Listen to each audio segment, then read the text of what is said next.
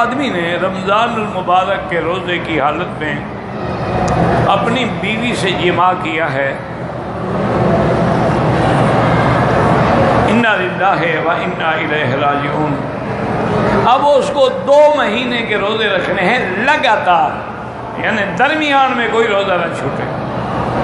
اور توبہ بھی کرے، استغفار بھی کرے۔ اسی لیے حکم ہے نا کہ اگر میاں بیوی نوجوان ہیں تو روزے کی حالت میں ان کو کٹھے نہیں سونا چاہیے۔ جیسا کہ حدیث مبارک میں بھی آتا ہے ایک آدمی نے حضور صلی اللہ علیہ وسلم سے سوال کیا کہ یا رسول اللہ صلی اللہ علیہ وسلم، میں بھی روزے میں ہوں، میری بیوی بھی روزے میں ہے۔ اگر ہم ایک بستر پہ ایک لحاظ کے نیچے کٹھے مل کے سوئیں، بدن کو بدن بھی لگتا رہے، تو کیا یہ جائز ہے؟ آپ نے فرمایا ہاں جائز۔ صحابہ کہتے ہیں کہ کچھ دیر گزری، وہ بندہ تو چلا گیا، ایک اور آدمی آیا۔ اس نے آگے بے ہی یہی سوال کیا کہ حضور کیا میاں بیوی روزے کی حالت میں ہم کٹھے سو جائیں، ایک کپڑے کے نیچے، ایک لحاظ میں، اور میں اجازت نہیں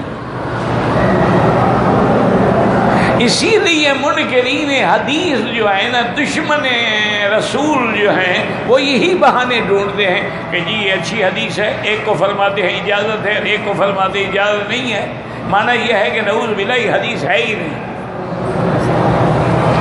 حالانکہ محدثین اور جو عاشق رسول نے کہا دونوں حدیثیں صحیح ہیں، حضور حکیم الامت ہیں۔ حضور نے جس کو اجازت دی تھی، وہ بوڑھا آدمی تھا۔ یا بوڑھا تھا، بیوی بھی بوڑھی ہوگی۔ تو خطرہ نہیں تھا کہ شہوت غلبہ کر جائے گی۔